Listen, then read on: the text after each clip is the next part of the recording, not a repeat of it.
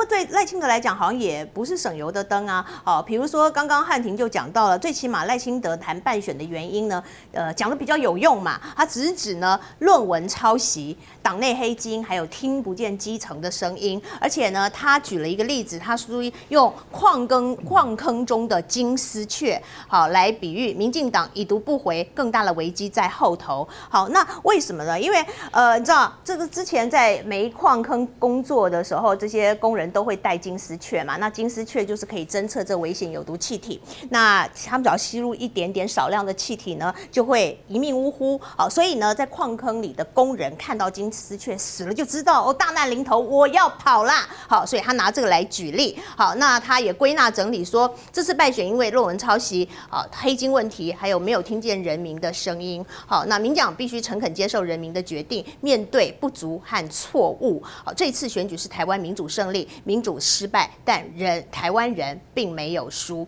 好，我们先从这个呃。这一次的这个赖清德他的一个好败选致辞吧，其实归纳出几点不同，感觉处处跟蔡英文别苗头，那处处也要映照出呢跟蔡英文的不一样。好，比如说他拿这个矿坑中的金丝雀，其实我们都知道，因为他出身这个呃万里的矿工家庭嘛，好，反正他就是呃这矿坑之子，好贫苦家庭长大的，来对照小英千金小姐。富豪之女，好，这个是第一个。那呃，生出生的不同。第二个，其实座谈地点也不同。好，因为听说在过去呢，蔡英文都习惯哦，你看百工百业座谈哦，都会选择比较舒适的这会议中心或者饭店。但是呢，赖清德他是在这个民众活动中心，大家呢是坐在这个红色的塑胶椅子上听他讲，好，然后也会一起交流。那还有呢，最关键的一点就是呢，赖清德从头到尾不看稿。更别说像小英总统要看读稿机了，而且呢，呃，台语非常流利。小英跟他比起来，台语不太流利吧？好，那再加上昨天的赖清德，其实讲的非常激动、慷慨激昂，连发型讲到后来都变了。那我不知道这些是不是可以处处凸显出他跟蔡英文的不同？那我不知道这个亮哥怎么看呐？赖清德，他这一次的他的检讨跟小英比起来，铿锵有力吧？对了，可是问题是，他就是当党主席嘛，党主席能够做的有限。他反省的那三点都是他可以做的，嗯，比如说论文抄袭，嗯，黑金。那我们就要看他如果当选之后，你真的敢对党内有黑金的人要去掉党公职吗？啊，或者是呃刚刚讲那个论文抄袭的，嗯，你都要予以揭发吗？据我了解，还有不少哎。那至于基层脱节，这个当然就就牵涉他到，因为他手上也没有政权呐，啊，那他顶多只是说，他倾听民意是没有问题啦，哦，而且他这个人比较刚直啊，说实在，因为以前我们也看到，他不是在台南街街头上，在那边教导小童，你记不记得？有，他就是这种人嘛。而且刚直到还被流氓打打那个围殴啊，对不对？他当立委的时候，我的意思是，他勇于讲话是事实，个性比较刚直啦，愿意面对问题啊。那呃，第三个，他绝对不会不开记者会了，因为他就是，因为蔡英文就是一下就当总统了嘛，他也没有选过区域的。赖清德是选过国代、选过立委、选过市长，这样一路上来的嘛，哦，所以他当然跟群众比较不会脱节啦，这是事实啦。可是就是你知道群众的问题，你要怎么帮他解决？这个就是他的问题。就是前面讲的两个都是党内的，你可以处理的，黑金啊、论文抄袭啊，啊，啊，可是。论文抄袭，据我所知，就有有一位可能会入阁。那到时候你怎么办？嗯，你是主席啊。嗯嗯嗯，啊，那人家要用他当部长啊，你怎么办？啊，那基层你可能会有一些见解啦，甚至有一些主张，那要推嘛？你怎么推？因为民进党那个党政协调会，如果党主席并不是总统，总统会理你吗？这个蛮现实的，而且蔡英文再怎么样都要用，比如说不是苏贞昌就顾立雄嘛，目前听来要当院长，那这两位，我很难想象他们会配合赖清德了。哦，我很难想象。不，因为苏贞昌最大的功能就是你要帮小英挡着嘛。所以本来是想说，如果是郑文灿，也许还有一点沟通的功能，那会卖他一点面子，因为赖清德在新潮流还是比郑文灿资深嘛。那如果是顾立雄，那就更远了。顾立雄完全就是小英的嫡系哦。那谁也知道你这个时候被任命是什么原因嘛？哦，所以我就我就会认为就更难了。所以就是说，行政权的部分，你又难以。就他必须要透过立委去传达了，你知道吧？就是对，因为党主席是很难是以党领政，嗯，对，他一定要透过新系的立委来传达这个声音，这样，所以到时候那个政治不同意见的表达就会有点曲折了，那这种曲折就会造成混乱。我政治就是这样嘛，就是政治沟通，如果我们可以一起开会，立即做出一个决策。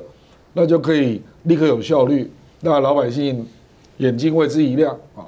那如果没有办法，你要这样曲折的透过立委来表现，那这个坦白讲就会有一定的混乱，那就会造成民进党伤害。嗯，所以我觉得蔡英文不放手的结果就是，大概我们费委员就在那边心里暗爽。就是必然就是你里面就是一大堆混乱的状况啊，那新系的立委对顾立雄就会觉得啊你很没意思哎，也会不满嗯，因为立法院挺他的挺他清德的立委蛮多的，而且区域立委你就是要跟他一起选，是的，所以他们必然会比较挺这边嘛，啊可是这个郭立雄他可能或者苏贞昌他只看蔡英文的脸色啊。所以你就会听到很多，这个国民党就会因此逮到很多机会了。所以比如说，民进党也跟着咨询啊，嗯，就对你的部位首长不客气啊，哦，甚至总执行总咨询啊。比如说我们会员刚刚提出来那些很直接的问题，搞不好民进党都跟进，都跟着问，就会有这种现象出现。那蔡英文不知道会乱吗？他这样子。大权在握。他说：“我能看这么远，会有今天吗？”你觉得？你觉得他是看不远吗？还是因为他也无所谓？反正我最后自己能够安然退场。我坦白讲，所以我说最后只有只有一句话可以吓住他了：说国民党当选对你有利吗？对啊。那问题是这句话谁去跟他讲嘛？谁能够跟他讲这句话，然后让他突然惊醒？这样啊？这个恐怕一定要。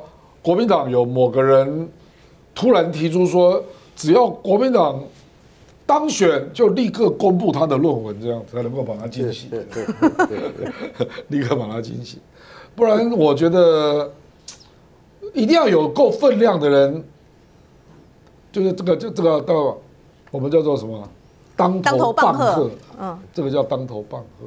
对，就你不要搞错了，陷入你的权力的小小揪揪里面。你输了，你死更惨，就是这样。对，老师，我是刚好看法不一样。我觉得国民党其实还好，我不能说温良恭俭让啦。其实国民党大概没有那么痛恨小英啦。那啊，亮哥哈，呃，提到就是公布论文，论文又怎么样？我没有论文，我没有博士，我只要小学生，我也可以选总统啊。公布了以后，那那万一如果就是说。高端啊，等等那些东西，如果哈赖清德，因为我不晓他有没有一起，因为他也出来帮小英讲话的，对不对？所以那些东西可能是更惨了。所以如果我是小英的话，我比较怕赖清德，还是怕国民党？我觉得会鞭尸鞭尸的应该是赖清德啦。好，OK，顶多你就查高端弊案，没没还有太多弊案，不是太多弊弊案了哈。OK，那同样的，其实我们看到，呃，苏贞昌跟小英也是某种的恐怖平衡啊，因为过去是你也知道他是他他的部署，对不对？有知道太太多狗屁带道造的嘛，更不用讲，里面还有一个在等着那边等着被特赦的阿扁呢。他也知道很多东西，对对，那这些一年里面，因为赶快马上要处理。我是觉得说小英是无所谓的啦，他基本上到最后，我我有搞不好他在另起门户，然后说不定那国民党万一没有整合成功，民进党分裂了，那到时候是天下大乱了、我们不晓得会几组出来选总统啊。那小英搞不好他自己的承建人，他们是有，他们是有这个行政资源，说不定能永续经经营啊。嗯，好，所以这个变数还很多啊、还有的看。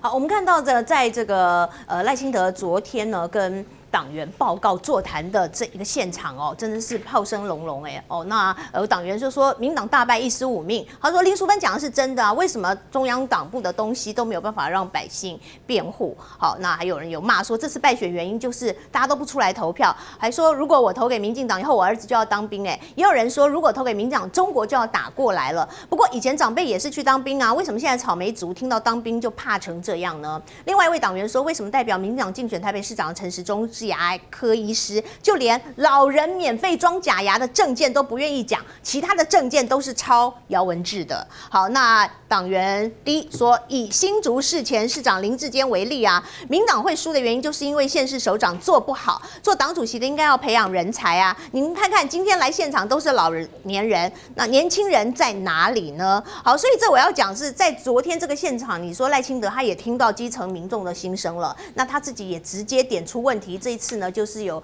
论文事件，还有这个黑金的问题。那刚刚其实听得出来，亮哥其实不太乐观。我也是觉得说，呃，赖清德点出问题是一回事，但能不能够真的解决问题，又是另外一回事了。费委员，我倒是想利用你这个节目跟蓝营的人喊话，嗯，不要以为，呃，二零一四年一月份的仗好打，不是的。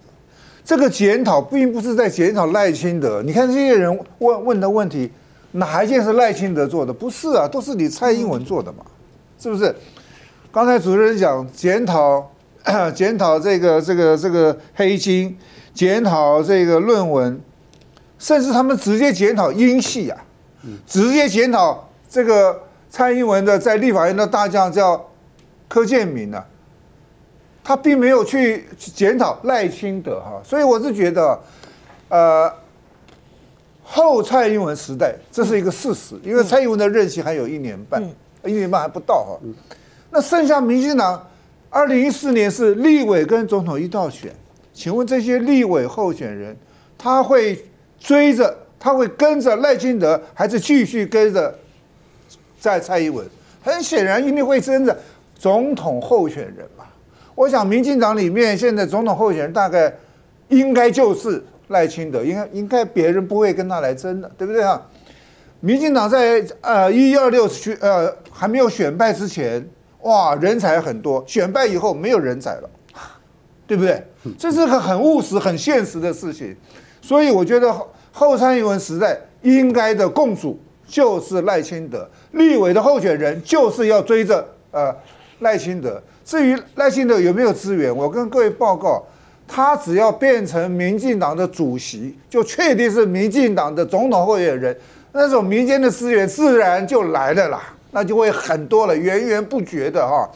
所以我是觉得赖清德现在在民民进党里面应该是唯一的明星，唯一的明星。因此蓝营的人，你别。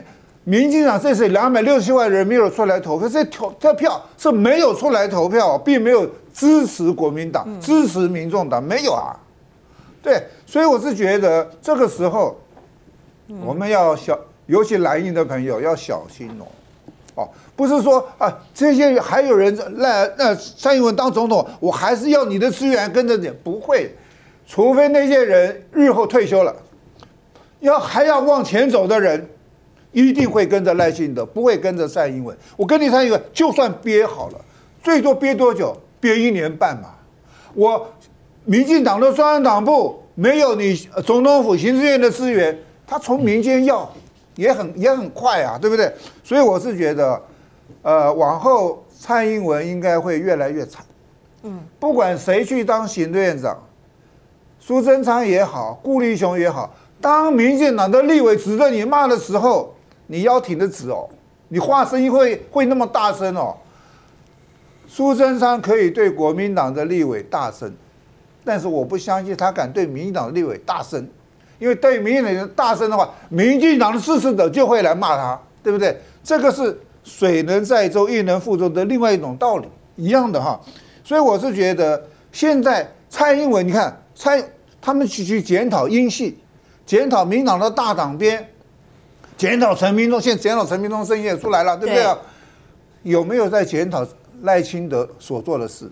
当然，赖清德，你说他有没有他有没有问题哈、他有没有可以被攻的？当然也很多了。第一个，中间选民就问，美国要让台湾变成乌克兰第二，你要怎么做？嗯，那美你是台独之子啊，你是台独的金孙，老公不会跟你谈海峡两岸就可能不会和平，两岸就可能会有战火，你要怎么做？还有台南这是八十八枪打出了一个问题啊，民进党的中执委在赖清德当市长的时候，在台南当市长，他那些那些废弃物埋下去，那是在赖清德时候发生的事情，你赖清德不知道吗？你赖清德跟这些财团、跟这些黑道有没有关系？这些他也需要需要那个交代的哈。所以我要我的意思是说，两个，第一个蓝营的人你不可以沾沾自喜。如果说你二零一八哦选胜了，接下来搞得一塌糊涂，才会有蔡英文的八百一十七票，呃八百七一十七万啊，对不对？所以蓝营你不要骄傲，也不要觉得哇，我这个天下我可以把它打打下来，不是的。赖清德也不是没有缺点的啊，所以我是觉得这个路啊还很长，看看到时候双方面，你的信、你的、你的阵营里面团结与否，这是第一个观察。第二个，你的、你的被被人家攻的议题的时候，你怎么来处理，你怎么来面对，也是另外一个问题。大新闻大爆卦，订阅靠大家。每日功课，开启小铃铛，转发补课，每天都要支持大新闻大爆卦。海皇 XO 干贝酱这款干贝酱呢，里面真材实料，比方说它有这个严选的大干贝。那么另外呢，在这个里面，你还可以吃得到这一颗一颗的这个鲍鱼，非常非常的新鲜，而且肥美。欢迎大家可以利用我的 CTI 七九八的代码来上网代购。